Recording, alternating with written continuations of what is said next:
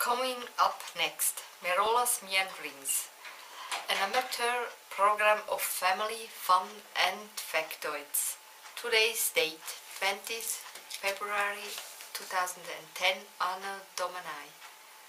Time 1745, Central European Time. Place, Malbun in the Principality of Liechtenstein. Season 1, Episode 1, On Holiday in Malbun. Good.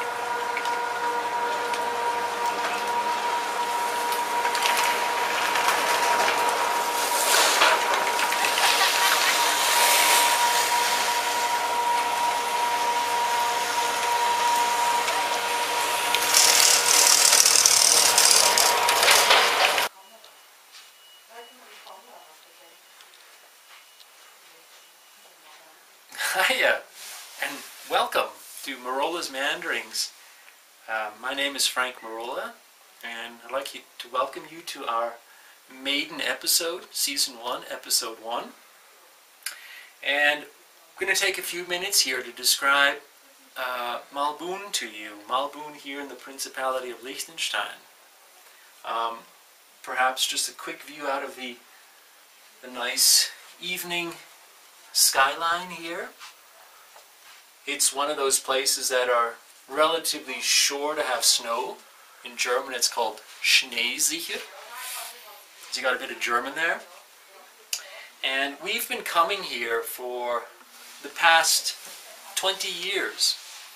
Um, our youngest daughter Rebecca was very small when we came in 1991 and the first house we stayed at was a place called House Vogt, which is just up the hill that way. It no longer exists because maybe 10 years ago there was a huge avalanche and uh, totally wiped out the house. Since then we've been in two other places. We've been at the um, the cabin down the side here, which was extremely cold. I remember it was almost colder inside than it was outside sometimes. But it did make going back to Zurich uh, very warm afterwards. You got used to the cold. So what can I tell you about Malbun? Um, some interesting highlights. It's maybe the size of the Bronx, I would think. Tiny little country, uh, ruled by a prince. It doesn't have its own money. It uses Swiss money. Um, it does have its own stamps. It's a part of the European Union. Switzerland itself is not in the European Union. So there's some overlap with Switzerland and yet some overlap with the European Union. The German dialect they speak is somewhere between Swiss German and Austrian German. Okay? Very interesting. They make good beers. They've started producing their own beers called, what's it called, Renee? Ländlebräu. Lindsay? Ländle beer, different types of beer, and it's become very popular. Um, we are now here in House Beck with um, my family and the Zubers, and this is Renee back here. Okay, he got a bit of a bloody nose today, but other than that, he's doing all right. And over the last 20 years, different things have happened. Uh, Renee's son Stefan broke, actually punctured a lung on a during a um, snowboarding accident. He tried to do a very crazy jump and fell and punctured one of his lungs. Another time, Rebecca, my daughter, was coming down the side of the hill and uh, there wasn't a lot of snow that year and she crashed and uh, broke her wrist. So we've had a few episodes up here, uh, probably like any family. Another interesting factoid for you all is, this is a bit patriotic, we were walking down the hill one time, there's a hotel down here called the Hotel Turna. And in the middle of the, the square, the, the turning area where the buses turn to go back to Vaduz, I looked up and there was a bunch of flags. And lo and behold, they had the American flag, but it was upside down. So of course I had to go in and tell the, the owner of the hotel that the flag was upside down. It might cause some bad blood. And they did go uh, decently and uh, change it so it was the right side up. The stars were up. What else can I tell you? Um, another interesting thing here is there was a time where Mal well Malbun is very small. They they're not like one of these big ski areas like like Davos or Zermatt or anything like that. They're very family oriented. But a few years back they wanted to somehow get on the map and what they did was they started uh, importing strippers and table dancers. And my children were traumatized. We went into the one of the hotels one evening for dinner, and this sort of Brazilian cocoa, um, coffee-colored, beautiful young woman passed them, but she was topless. Okay.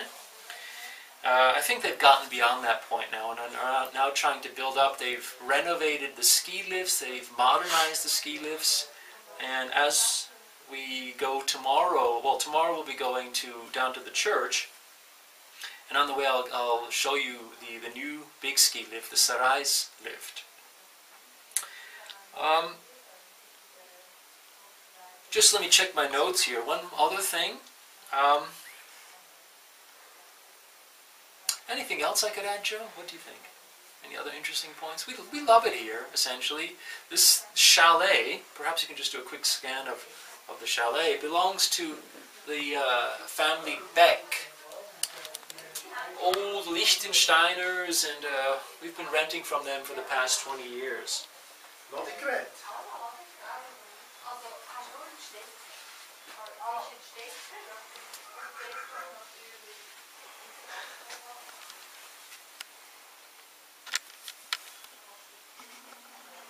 The Liechtensteiners are also famous for cold cuts and things. They create a bacon called Malbuner Speck and all sorts of smoked meats. Um, very Catholic country. Of course, the prince is uh, runs it. I really can't think of anything else to tell you right now, actually. Let me just get up here. We're going to try to keep these episodes as low-key, as family-oriented, and as hopefully as interesting as possible.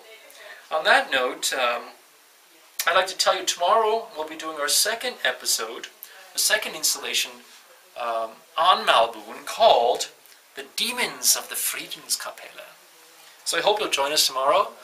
And this is Frank Merola signing off, and I'd like to say thanks and enjoy your life.